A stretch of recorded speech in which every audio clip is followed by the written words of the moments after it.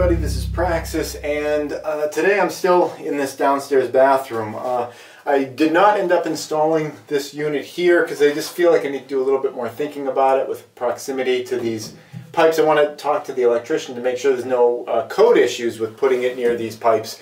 Uh, but then, in addition to the code issues, I mean, there's the code issues, the safety codes, and then like there's your own personal sense of self-preservation.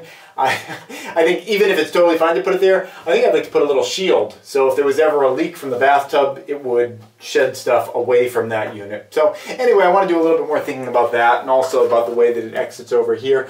What I've been working on today is uh, doing all these nailer boards on the walls uh, to accommodate uh, the ceiling being put up here. It's kind of a complex ceiling. You can see there's kind of a ceiling here, and then it cuts up at a 90 degree angle, then it's going to go across here, and then there's going to be a 45 here, and then another flat section here. This was uh, arbitrary on my part. I mean, this could have come out straight and then gone up. I wanted a box around these pipes here, uh, but uh, this is what I ended up coming up with, is straight 45 to here, and then straight across uh, that way.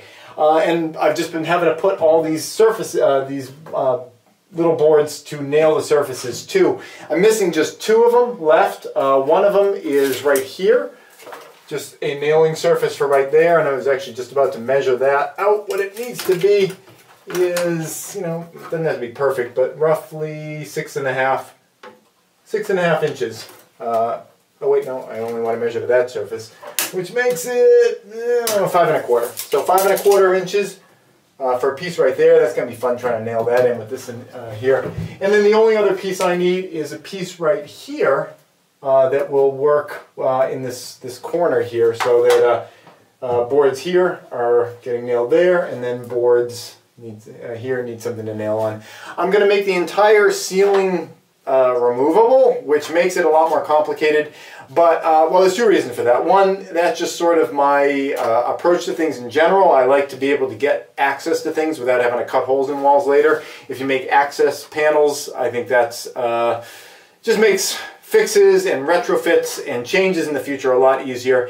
And in addition to that, I mean, you guys have been following the series, you know what the plumber's work has been like. You know, when they first installed this underfloor pipes, they were too short. Uh, you know, once they put stuff in, it was put in in a way that wasn't the way they described it. There have been leaks in a number of places, a huge gushing leak down there. Uh, you know, they, there's been some issues with the plumbing and, and you know it hasn't even really gotten broken in yet so uh, if I see leaks coming through the ceiling I'd really prefer to be able to just unscrew an access panel and look at where the issue is instead of you know having to you know cut things or pry things off with a crowbar. So I'm going to make it so that the entire ceiling can come down. I think maybe in two panels. Maybe like one panel here can come down, one panel here, or I don't know. Maybe I'll do the whole thing. That's a decision I'm going to make as I go ahead. But this is what I'm working on today, and it's just it's a lot. It's a lot of little little bit pieces. Sometimes work goes really fast when you're putting up a bunch of big pieces.